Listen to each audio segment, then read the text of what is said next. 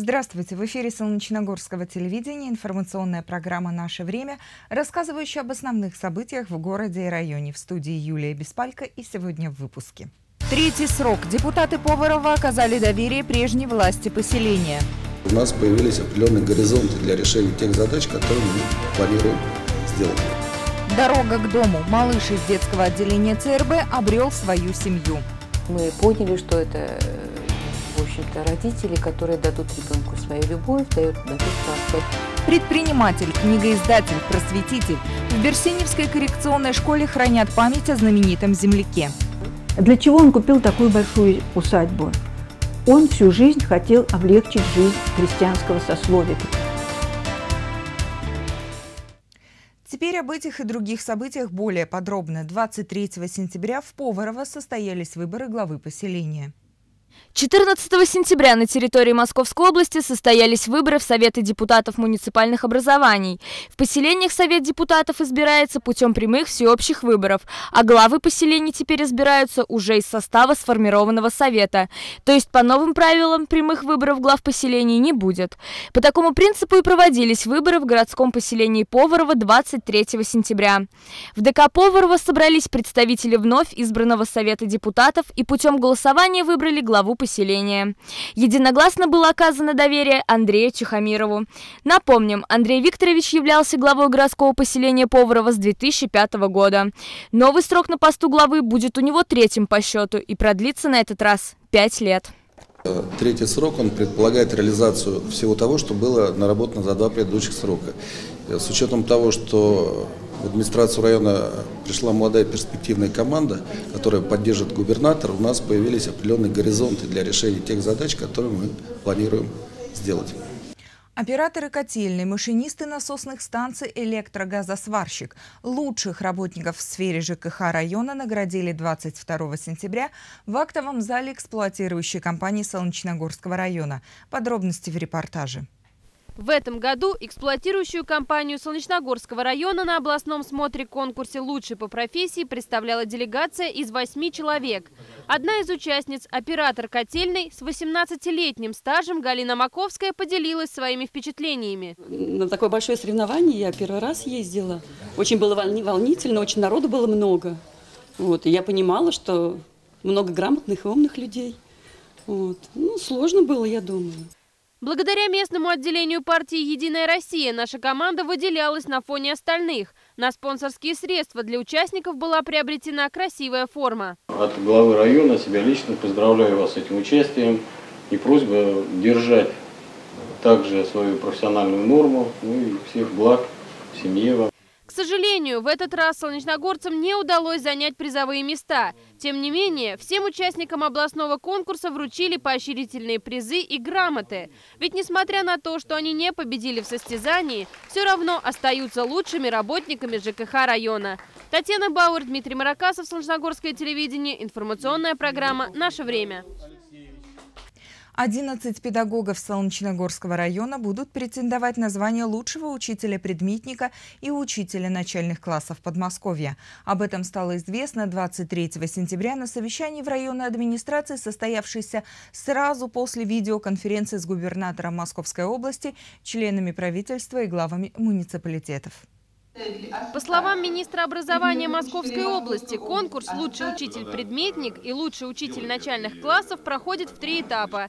Первый и второй уже состоялись. Они проходили на уровне школ и муниципалитетов. Отбор лучших из лучших на уровне области проходит с 22 по 26 сентября. Критерии отбора участников. В обязательном порядке уровень учебных достижений обучающихся по предмету. Уровень учащихся – в олимпиадах и конкурсах разного уровня по предмету на региональном уровне, всероссийском уровне и международном уровне. Уровень работы учителя по распространению своего опыта. Конкурс предусматривает 18 номинаций. Победитель получит сертификат на 300 тысяч рублей. От Солнечногория в конкурсе будут участвовать 11 учителей. Это 4 учителя 8 лицея, 3 учителя школы второй и один учитель четвертой школы и по учителю сельской школы Солнечной, Тимоновской и Ложковской.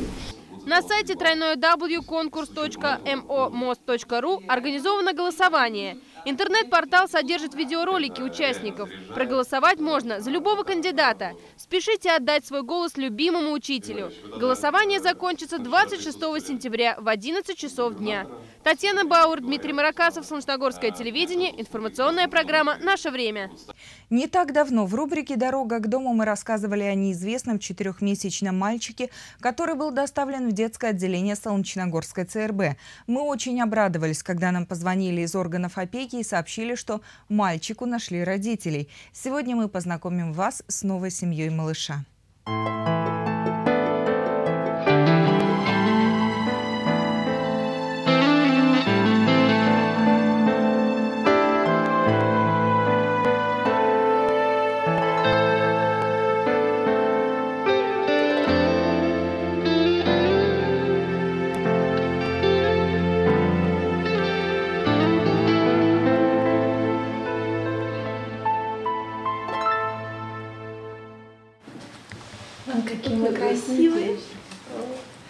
Надо было бы немножко чуть-чуть опоздали, надо было его как дяди Варе поснимать.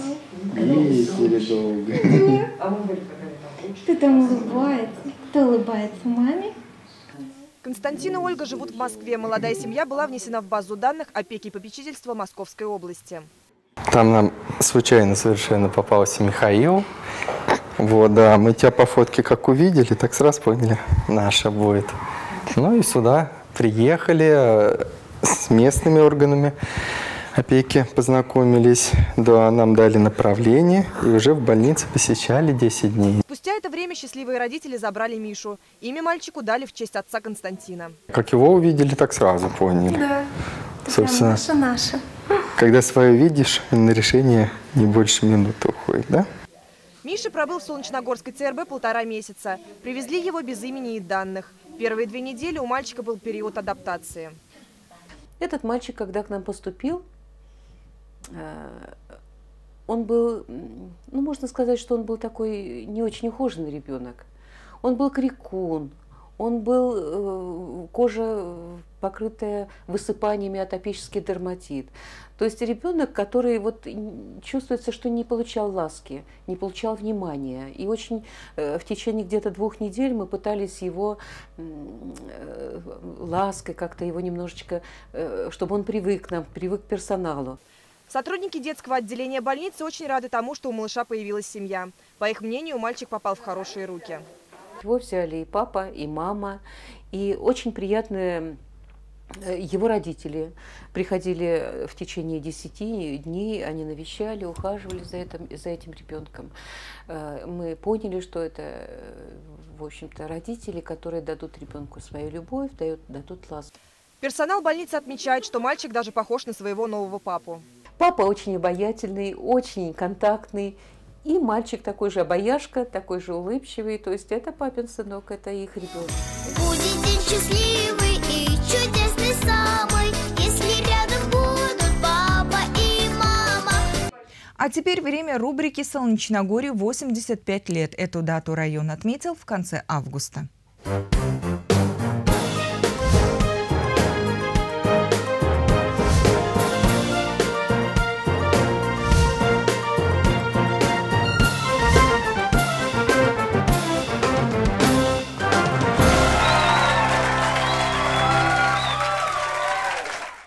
Сегодня мы расскажем об известном книгоиздателе Иване Дмитриевиче Сытине. Его усадьба располагалась в деревне Берсеневка, ныне Пешковского сельского поселения. Сегодня от некогда роскошной усадьбы с господским домом, прудом и подсобными строениями ничего не осталось. Память об известном книгоиздателе, жившем в этих местах, хранят в Берсеневской коррекционной школе-интернате. Десять лет назад здесь открыли музей Ивана Дмитриевича Сытина. Заведующая библиотекой и школьным музеем рассказывает, он родился в глухой деревне Костромской губернии, в семье волосного писаря. Сытины жили очень бедно. В юности старший сын Иван получил образование 4 класса церковно-приходской школы. Трудно представить, что так начинается биография известного предпринимателя, книгоиздателя и просветителя. Судьбу Ивана Дмитриевича кардинально изменил его дядя, который отвез племянника в Нижний Новгород торговать мехами на ярмарке. Э, прекрасно общался, прекрасно торговал, э, рекламировал товар, был контактный, общительный, э, доброжелательный. Он был вот по-мужски очень привлекательный, подросткам, юношей, это все, потому что доверчивый искренний взгляд, ни агрессивности, ни того, что называют себе на уме. И дядя хорошо наторговал. Дядя сказал, ты посмотри, у тебя коммерческая э, жилка. Разглядев в бойком мальчике будущего предпринимателя, дядя устроил Ивана в типографию к своему другу Петру Николаевичу Шарапову.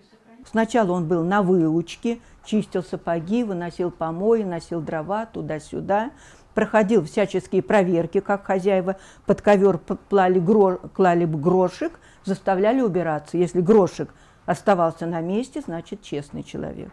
Иван проработал в типографии 4 года, вырос до приказчика. Петр Иванович Шарапов стал Сытину наставником, привил ему уважительное отношение и любовь к книгам. Поэтому неудивительно, что когда в 24 года Иван решил открыть свою литографию, Шарапов ему помог деньгами. Первое, что начал выпускать на своей литографии Иван Дмитриевич Сытин, это вот такие лупки. Они представляли собой черно-белые картинки, которые впоследствии раскрашивались вручную. Под ними был справочный текст. Главное достоинство этих картинок, что они стоили очень дешево. Дешевые лупки расходились в народе, как горячие пирожки. И вскоре Иван Дмитриевич открыл свою типографию. Кстати, в музее есть настоящие сокровища. Книги, детская, военная и народная энциклопедии, брошюры и один выпуск газеты «Русское слово». Все это оригиналы, изданные в Сытинской типографии.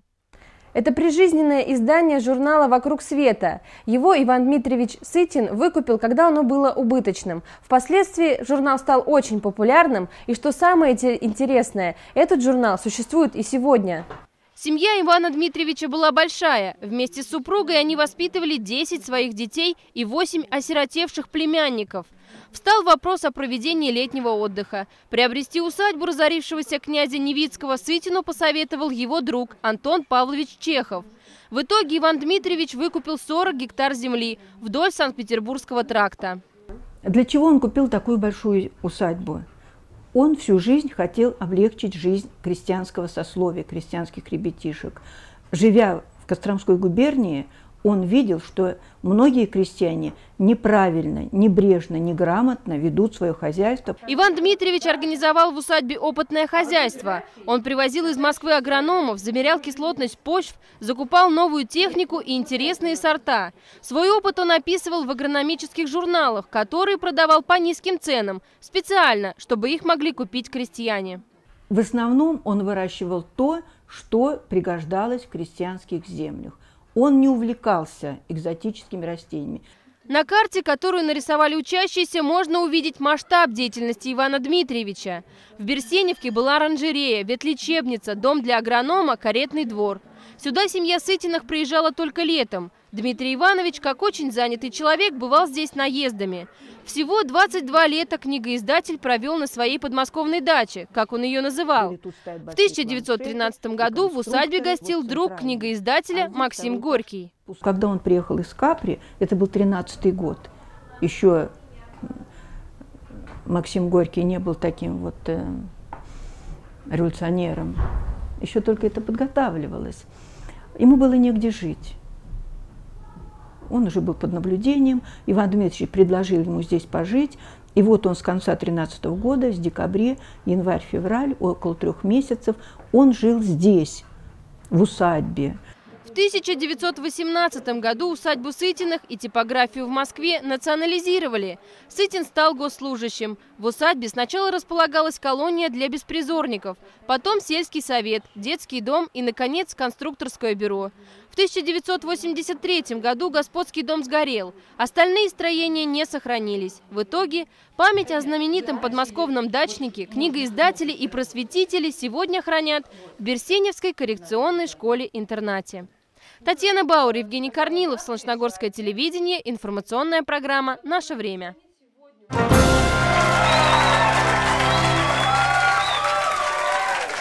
Танцуют все. Студия современного танца «Капли стерео» открывает новый сезон. Она существует в Солнечногорске уже 4 года. Здесь изучают такие направления, как детская хореография, хип-хоп, брейк-данс, стрип-пластика, стрейчинг, латино, йога, чирлидинг, dance mix, бально-спортивные танцы, сальса и боди-тренинг. Сегодня в школе танца «Капли стерео» занимается более 100 учеников.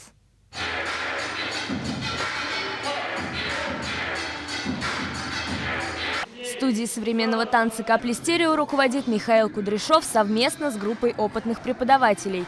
Образовался коллектив в 2010 году. Ко мне подошла вот мама Руслана, и я начал преподавать Руслану. Да, то есть э, им очень это понравилось. А вот у меня были два ученика моих верных. Потом пришел еще один, там э, Денис еще один. И так потихонечку, постепенно люди, то есть мы начали делать выступления различные. Проработав два года в балете «Тодес», набравшись опыта и идей, Михаил решил открыть свою студию танца. Преподавателями стали его близкие друзья. Каждый из них профессионал в своем танцевальном направлении.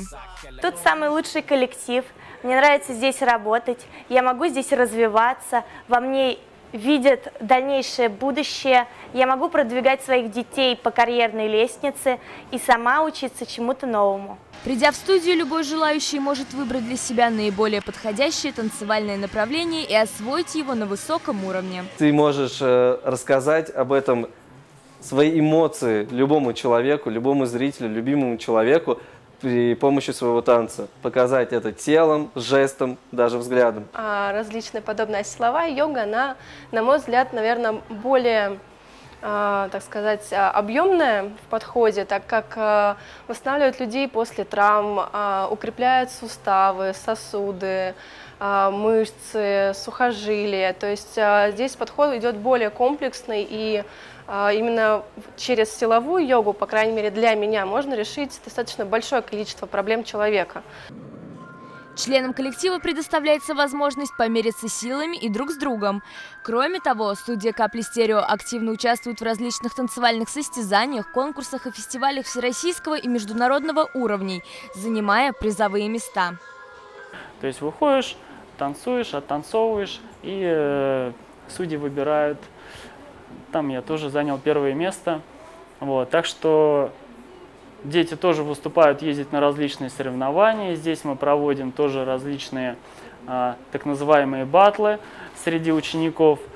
Вот, то есть э, дети развиваются, выступают. У нас вот уже это все кубки, медали, все это заработанные честным трудом, кровью и потом. А пока дети осваивают искусство танца, родителям, ожидающим их, в студии тоже найдется занятие. Это силовые тренировки, при помощи которых вы подтянете, прокачаете мышцы. Тренировки проводятся как силовой нагрузкой, так и э, по работе с собственным телом. Если вы хотите присоединиться к этому дружному творческому коллективу, получить подробную информацию можно по телефону 8 985 926 89 75 или в социальной сети ВКонтакте. Адрес странички на ваших экранах. Расположена студия по адресу улица Красная, 180.